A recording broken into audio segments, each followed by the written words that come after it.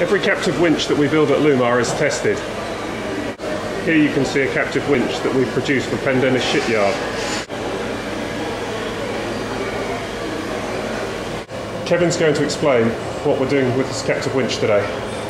First, we're going to check that the stowage drum the rope lays correctly on it. Then we're going to check on the manifold and make sure that all the pressures and flows are correct with the manifold.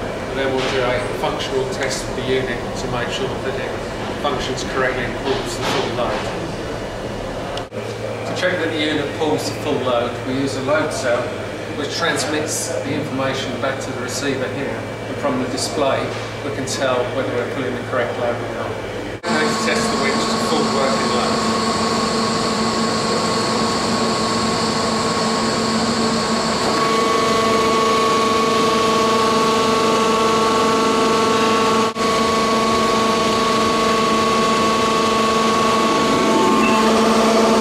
Here you can see the winch getting to 9 tonnes. You can see the captive winch paying out line.